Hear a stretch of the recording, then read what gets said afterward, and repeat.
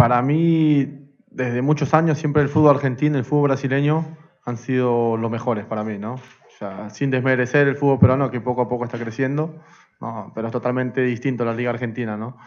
Nunca jugué en Sudamérica, sería mentirte que con qué me voy a encontrar, o sea, siempre toda mi carrera la hice en Europa prácticamente, pero estoy muy ilusionado, ilusionado de, de defender estos colores, ¿no? Que, que de verdad desde niño fue un sueño, pero hoy en día es una realidad estoy seguro que voy a, voy a dar lo mejor de mí y, y me voy a ganar a la hinchada lo más pronto posible.